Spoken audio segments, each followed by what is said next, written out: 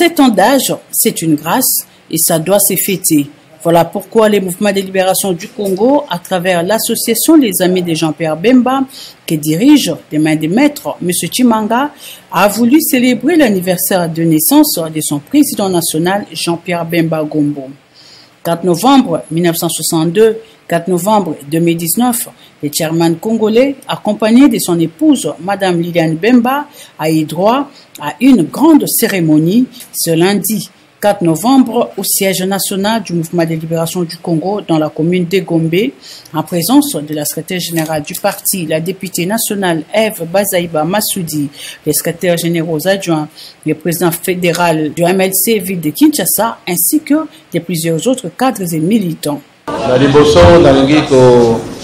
merci bayaki awa. Message misato bazalaki très inspiré merci mingi. Baassociation nyonso tokona kotanga ya kongo te nyonso boleki awa merci mingi. Bacadre ya mlc baocadre bazali awa bacadre nyonso bozali awa merci. Na ndenge boye. Boyeba ke merci lisusu na bino banso parce que esika nazalaki chaque année le 4 novembre ozotinaka ngai message ya bon anniversaire naza kozwa yango alors naye nayebisa bino ke ndenge ndeko na biso erik auti koloba awa soki nazali awa na miso na bino ezali grâce ya nzambe. Ezali mokolo te ke naya koyebisa bino pourquoi mais boyebaka ezali grâce ya nzambe. Oyo nyonso eleki na vie na ngai ezala na banzela nyonso oyo naleka. Loboko na nzambe ezalaki toujours pembeni mpe likolo na ngai alors nakopesa bino lisusu merci. Lokola boyembi ebele nasepeli mingi merci. Président ya association jpba vice président secrétaire général comité nyonso lelo le 4 novembre. Naye kozala mpe kocélébre na bino.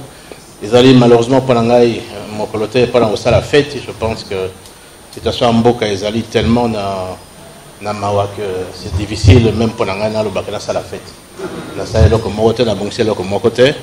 nayebikela ndako na koyamba ndambo ya bato bakoya bafamille mpe mosusu mais lisusu merci mingi mpe nasepeli lokola namoni bino ezali esengo. Bozonga malamu merci mpe mpona bassociation bayebi biso bataba namoni mpe mafuta makemba mikanda na kotanga yango. Vraiment botikala malamu. Merci mingi À la place du gâteau d'anniversaire, ces structures affiliées au parti de Jean-Pierre Bemba ont présenté des cadeaux d'anniversaire dignes d'un grand chef. Comme peut dire, on se pointe devant les chefs main vide. La fête s'est poursuivie tard la nuit à la résidence du président Jean-Pierre Bemba avec les compagnons de la liberté.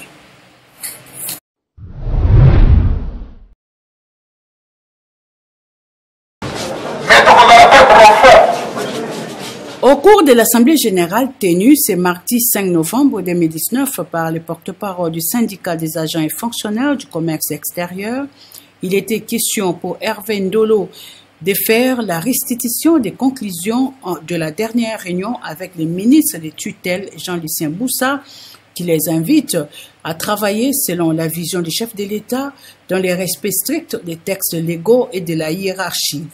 Jean-Lucien Boussa s'est dit très déterminé, comme toujours, à œuvrer pour l'intérêt général des agents et fonctionnaires de son ministère.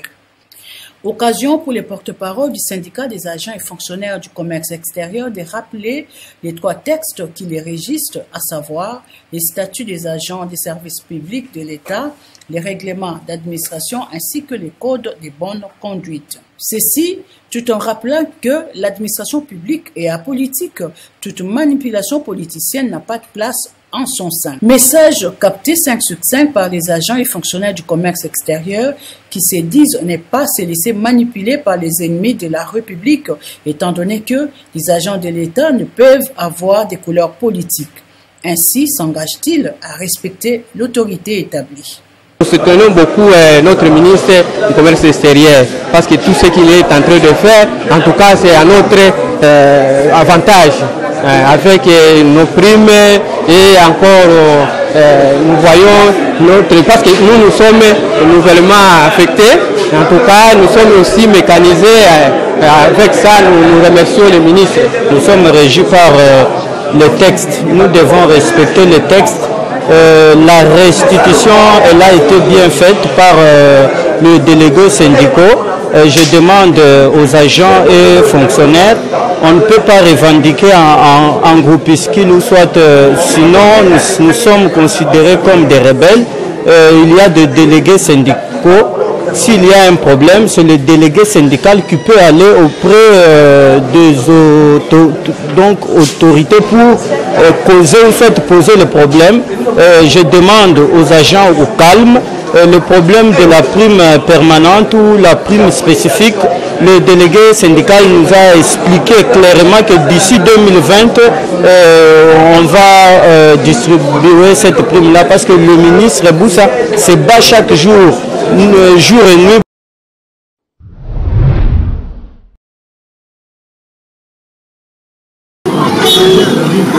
L'assainissement dans la ville de Kinshasa, les gouverneurs de la ville-province ont fait son cheval de bataille. Voilà ce qui justifie la descente effectuée par M. Freddy Bonzeke, son directeur des cabinets dans la commune de Matete, et ce, dans le but de palper du doigt les réalités autour de l'évolution des travaux dans ces coins de la capitale. Accompagné du bourgmestre de la dite commune Anto Longangue, le directeur des cabinets de Gentini Ngobila a assisté au curage des caniveaux et à l'évacuation des immondices, travaux effectués par les habitants de cette municipalité. Les habitants de Matete lui disent merci. Il nous a montré qu'il est réellement natif de Matete. Il est parvenu à déboucher les caniveaux bouchés il y a plus de 20 ans. Depuis plus de 20 ans. Nous sommes venus l'accompagner, nous, les membres de l'AVK, les amis de la ville de Kinshasa, coordination provinciale. Nous sommes venus accompagner les directeurs de cabinet dans cette belle initiative. Freddy Bonzeke a pour sa part expliqué à la population la politique du gouvernorat de la ville quant à l'assainissement de la ville dans le cadre de l'opération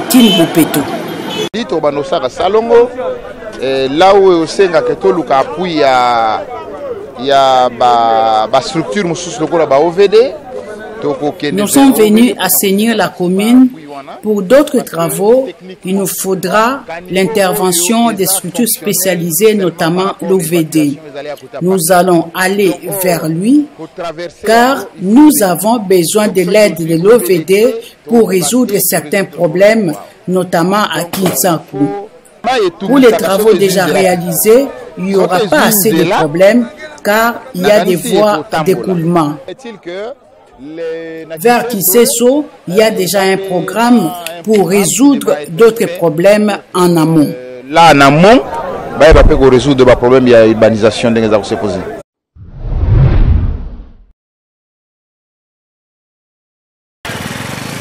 L'hôtel de ville de Kinshasa a interdit depuis le lundi 23 septembre 2019 la circulation des taxis motos dans la commune de la Gombe, mais cette mesure ne semble pas être suivie car le motard, comme à l'accoutumée, exerce leur trafic au vu de tout le monde et désapprouve même cette décision du gouverneur Jean Ngobila, jugée impopulaire.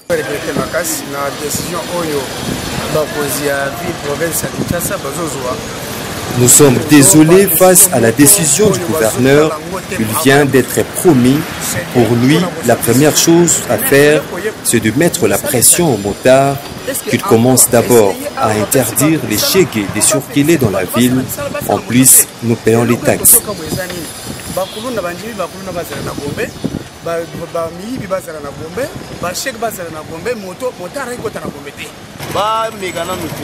Qu'il nous laisse travailler, on n'a pas de boulot et nous sommes le père de famille. Le taxi moto, c'est notre travail, on vit de ça.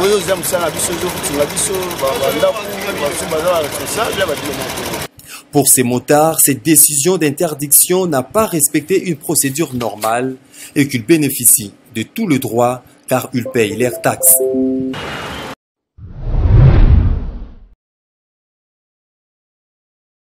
Le bar et autres terrasses ne peuvent s'ouvrir que de 18h à 23h la semaine de 18h à minuit le samedi et de 11h à minuit le dimanche sur toute l'étendue de la capitale, a annoncé Didier Tengeluto, ministre provincial de l'Environnement de Kinshasa, et qui rend ainsi compte de l'une de mesures prises par le gouvernement provincial de Kinshasa dans le cadre de l'opération Kinbopeto.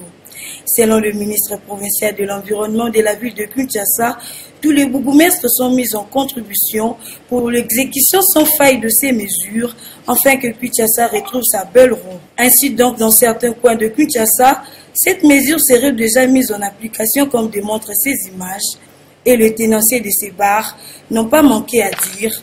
Ces derniers demandent au numéro 1 de l'environnement de Kinshasa de réajuster l'heure d'ouverture et de fermeture de terrasses. Question de le permettre de rentabiliser les affaires. Les autorités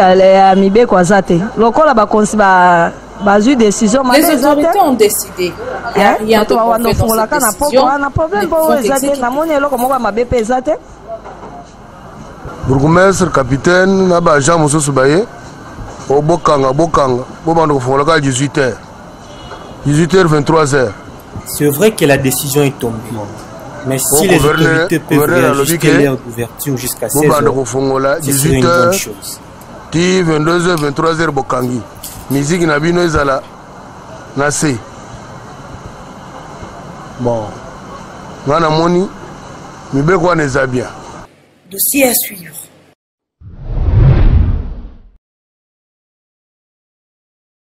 Depuis la réhabilitation et l'élargissement de la chaussée de l'avenue Kassavoubou à la hauteur de Bakayao dans la commune de Bandalungwa, la population des alentours éprouve d'énormes difficultés pour la traversée d'un bout à l'autre. Une année après l'arrêt des travaux, l'on se demande si ces derniers sont-ils réellement terminés.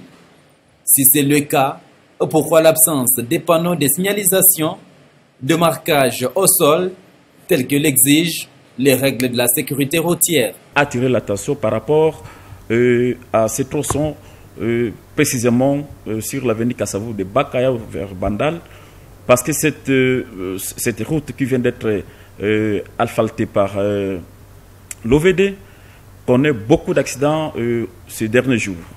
Raison pour laquelle, comme il n'y a pas la signalisation en soi, nous disons la signalisation par rapport à la marque au sol, par rapport au marquage au sol, qui est une signalisation horizontale, nous voulons seulement conseiller à tous les usagers de la route, euh, particulièrement les élèves, au fin de traverser la chaussée avec beaucoup de prudence, en attendant que les services techniques que nous sommes, nous puissions mener des études là-dessus, soit avec la CGT, soit avec l'OVD, soit encore avec l'Office des routes, au fin de pouvoir euh, euh, implanter des panneaux pour sécuriser nos usagers de la route. Après plusieurs cas d'accidents enregistrés sur ce tronçon, les usagers de cette route lancent le cri de détresse aux autorités compétentes pour qu'une solution soit trouvée, surtout à l'approche de la rentrée scolaire.